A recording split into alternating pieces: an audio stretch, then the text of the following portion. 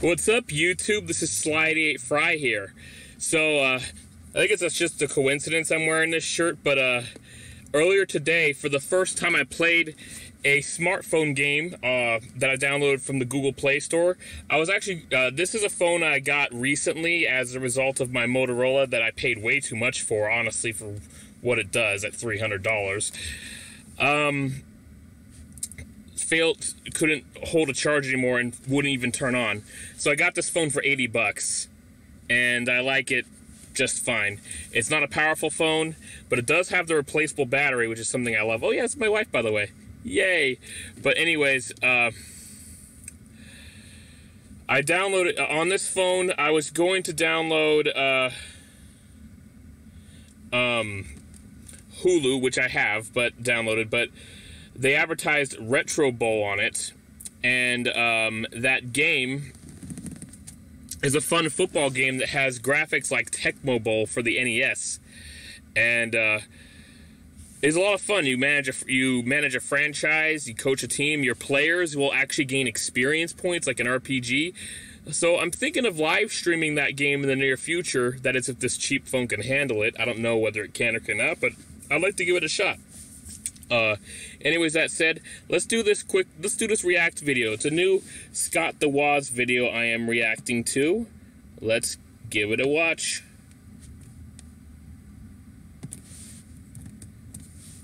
To delay a game.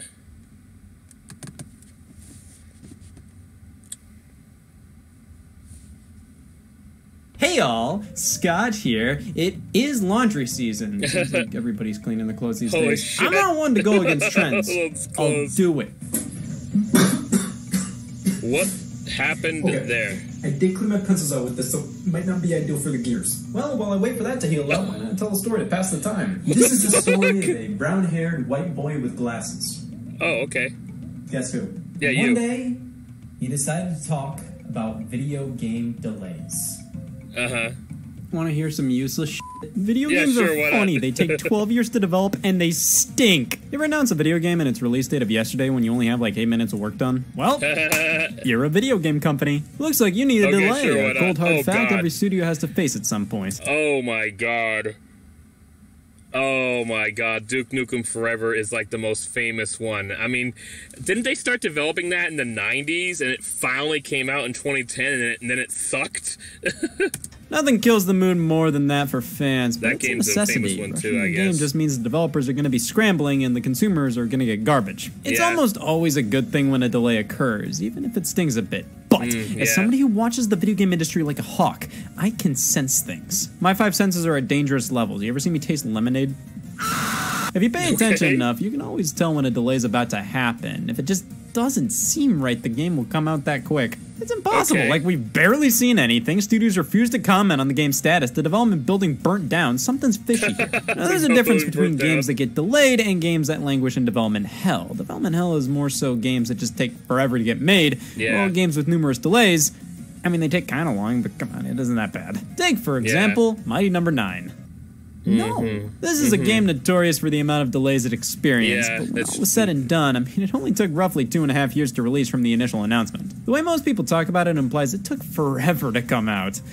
Hmm. Well, in dog years, yeah. No, what really annoyed people about years, Mighty Number yeah. 9 was the amount of delays. See, they started a crowdfunding campaign for a spiritual successor to Mega Man and decided to offer players a whole country if the game got funded, plus a Wii U version. Due to the sheer success of the campaign, they kept offering stretch goals. So if we reach this amount, we'll tuck you in, and if we reach this amount, we'll spit on your foot. That made the game more complicated than necessary to develop. What once was a game that was supposed to release in April of 2015 became a game set to release in September 2015, and then that much of a February de- 2016, and then spring 2016. Oh. And finally, June 21st, 2016, which is technically when summer begins, so it didn't even meet the spring deadline. You really couldn't have released it a day earlier? In the end, Mighty Number 9 was one of the sloppiest looking games of the year, not living up to long of a expectations and numerous delays kept some raising. others. Well, I'm sure the delays made the game better. They were more so indicative of a troubled development rather than wanting Yeah. more time to make the title the best it could be. I'd consider a game like The Legend of Zelda Breath of the Wild to be delayed for the latter reason. It may have had trouble development, we don't know. Somebody might have pissed themselves at the office, but the numerous delays this game experienced felt more so because that was just what the project demanded. This It game is. did so much that required tons of research, testing. It was no small game, so the extra delays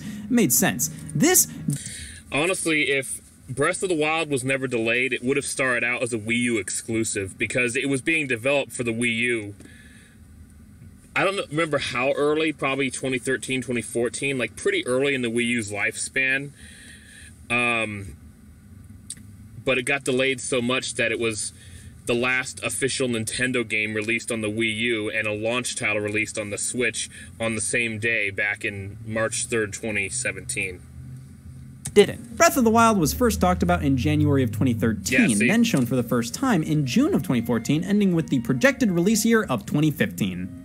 It took lot Was that really than that. necessary? Did you just have to say, oh yeah, it's coming next year? Wasn't the teaser enough? And they were pretty hmm. adamant this would release in 2015, even It affirming did. it during a gameplay demo in December 2014. but then that brought us to March 2015. If you ever see Nintendo employees stand like this, fucking run. To be fair, Eiji Aonuma stated here that while it was probably possible for the game to release in 2015, they just had so many new ideas they wanted to cram into the game and preferred just not focusing on trying to meet a 2015 release deadline. Yeah. The thing was, they never said it was delayed. They just were making a 2015 release their priority. Well, that means there's mm-hmm. still a chance, right? Well, yeah, but God hates Nintendo fans, so that Okay. tricky. The entire year, we got nothing on the game until November 2015, where they said, "Yup, in 2016, it's coming."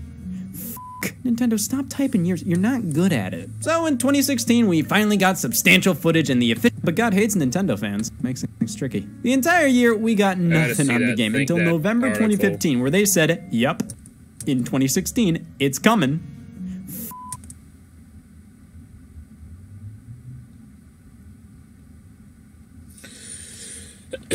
Uh, yeah, the NX was the um, code name of the Switch when it was still in development.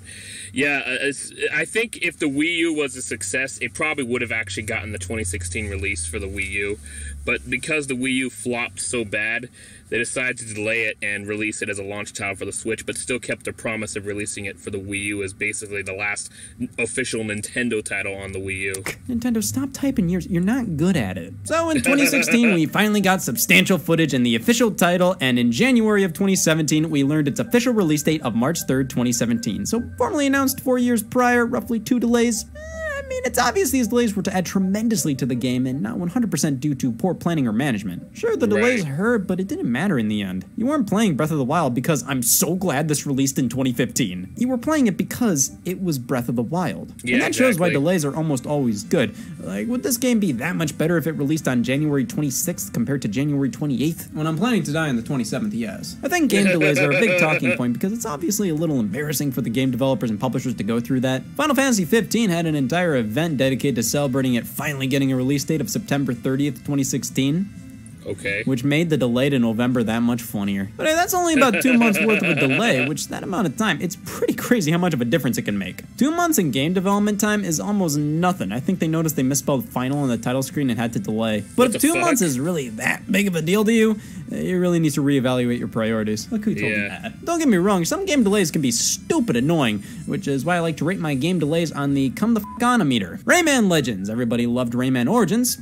Mm. Except for Shakers, I don't think they had a chance to play. A sequel to one of the generation's defining 2D platformers was announced as an exclusive for the Wii U in 2012 That's and was right. set to be a launch title, though it got delayed to February 2013. So, one delay in, but it's no big deal. The Wii U launched with New Super Mario Bros. U. I'll wipe Yeah. the throw up from my mouth, but you got a very capable 2D platformer at launch with that game already. I think February suited Rayman Legends a bit more. Come on, what else happened in February that year? The Pope resigned? A good time to release Rayman. But truly, before that release date, Ubisoft announced they were delaying Rayman Legends to September 2013 so they can make the game not a Wii U exclusive Exactly. and rather release it on other consoles as well. Yeah, because the Wii U was Come failing.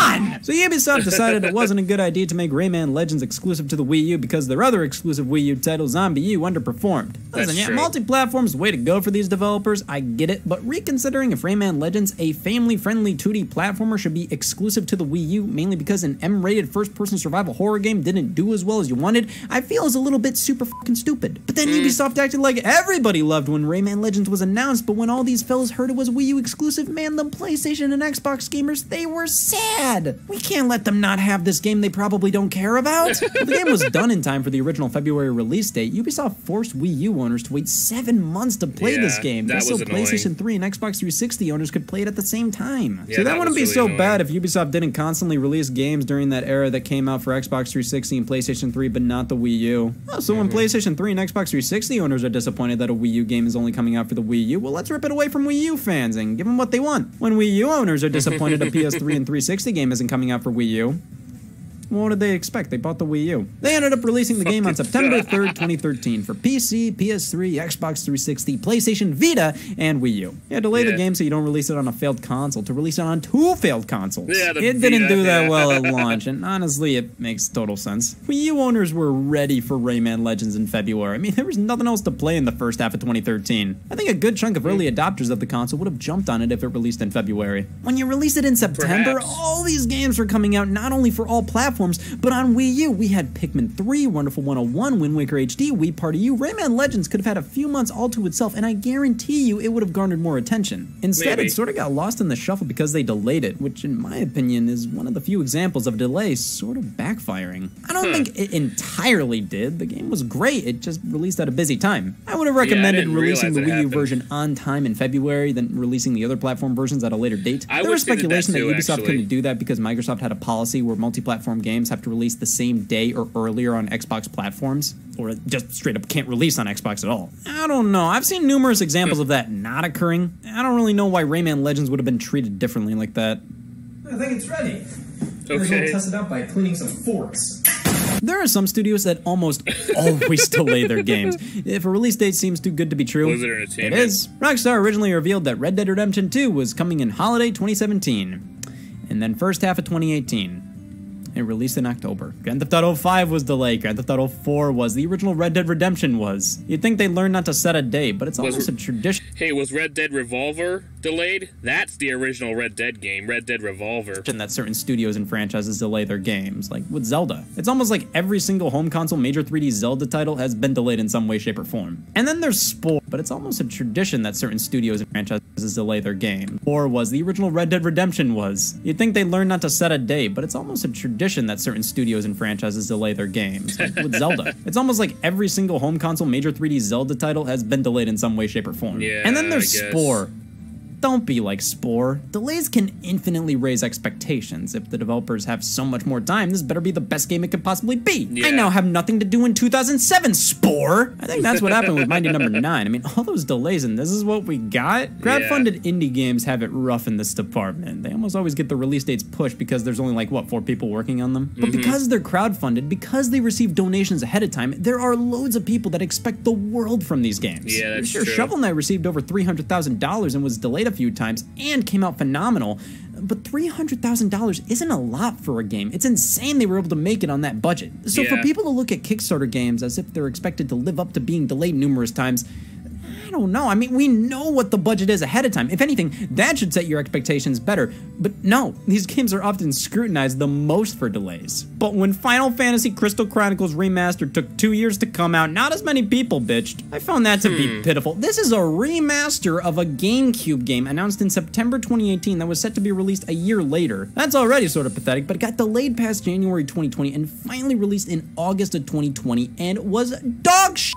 But of course, my favorite game delay is Donkey Kong Country Tropical Freeze. It was announced for November 2013, it got quietly delayed to December 2013, and then Nintendo said they needed more development time, so they delayed it to February 2014, and the developer said, We don't know what they're talking about, the game's done. It was obviously pushed because, kind of like with Rayman Legends, having Donkey Kong in February gave it time to breathe and be the only talk of the town. I remember people hmm. acting like Nintendo really fed up again because Donkey Kong Country Tropical Freeze was coming out in February.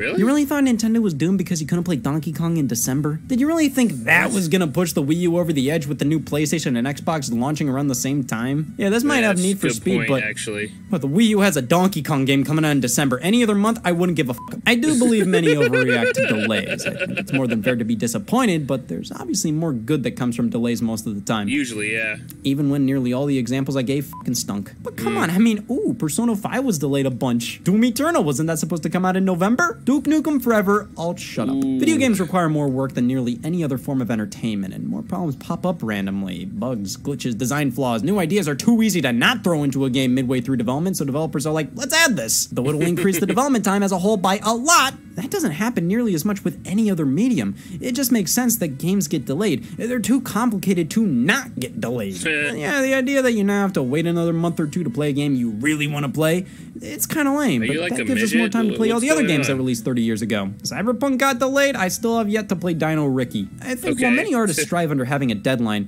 having too strict of a deadline can obviously negatively affect the end product. Most games can release at any point in time and they'll be fine. Of course, games like Pokemon will they have to come out at a certain time because of all this other merchandise and media tie-ins releasing to coincide with it. That makes delays hard to do, but if you even have to entertain the idea of one, it's probably in your best interest to do it. Because Family Feud on Nintendo Switch really needed it. Did you really have to release it when you did? This is horrible. Well, after numerous delays, I've decided to cancel the laundry. But don't you worry. I think everything will work out just fine for our brown haired white friend. Game delays are inevitable for all developers, and most of the time, I think they're highly respectable. It takes guts to admit, hey, we need more time. And sure, some are annoying, most are definitely disappointing, but in the end, I think most delays are for the best. It's not like real life where pushing something off till later will get you in deep trouble. Oops. Huh. Hey y'all, Scott here. It is laundry season. Seems like everybody's cleaning their clothes these days. Back to the beginning of the video.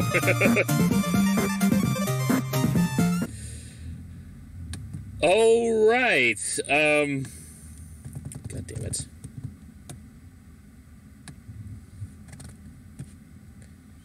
I hate doing this without the mouse. Well, anyways, that was a blast to watch once again. Scott the Woz, comedic genius as he always is. Um, yeah, I could name a few examples where delays were probably for the best. Um, at least I think I could name them. Super Smash Bros. Brawl for the Wii back in 2008. That game was expected to be released um, sooner. Like it was. Uh, I remember the, the first preview I seen of that game was actually uh, a, a video I saw on IGN back in 2005, and this was before the Wii even came out in 2006. But yeah, they they showed a really interesting introduction to that game on there. And uh, I, I think it was expected to initially be released like in 2007 or something, but then it got delayed until 2008, and it was expected to be released here in the U.S. Uh, like in January or something, but it was delayed to March and you know March 9th, and that was fine. Um, it, it I, I think it worked out, and not not to mention uh, the delays were uh, did allow some additional fighters like Sonic, who uh, it has been my main in Super Smash Bros. since Brawl. Um, for whatever reason, he just came naturally to me in Brawl, despite being kind of low to mid to low mid tier in Brawl. He, he's really high. He's like top tier in Smash Four, and in Ultimate, he's also pretty good. But anyways, um, StarCraft 2, I think, is a pretty good example. I remember the first footage I saw of StarCraft 2 was on some video I saw on YouTube all the way back in 2006. Uh, that game, it felt like was never going to come out, like ever. They, they were mostly showing pr- new Protoss units in 2006. Then, like sometime in 2008, I think, they started showing the uh, Terran units, and it was a really awesome showcase of Terran stuff. Um, and then in like sometime in 2009, they did a smaller showcase of new Zerg stuff. Finally, in in like mid, like I think it was summer 2010 was when StarCraft 2 finally came out, and it turned out to be an incredible game with an incredible campaign. So much fun to play the game online, and there was a beta version of the game before it, which was a lot of fun as well. Um, there's actually a couple things from the beta version I wish they'd kept in the final game though, like uh, when you have uh, multiple. Ter- like multiple Terran buildings, like multiple Terran barracks and factories set on the same group. Um, have it so that you select the ones that have the reactor core, uh, um, or the uh, and the ones that have the uh, the other add-on, uh, the the Tech Lab add-on, be se- selected separately. That's how it was in the previous game, so it was easier to actually switch between them instead of accidentally building from the wrong one. Um, but other than that, you know, it, the delays were good, and the game was really good. Of course, I mean, uh, people are disappointed in the later StarCraft two games, Heart of the Swarm and Legacy of the Void. But Wings of Liberty, I thought, turned out quite well. Anyways, thank you so much for watching. Please like, comment, and subscribe. Click that bell icon to have me notifications. This actually went on longer than I expected. Uh, and also check out my playlist of Scott the Woz reacts as well. Thank you so much.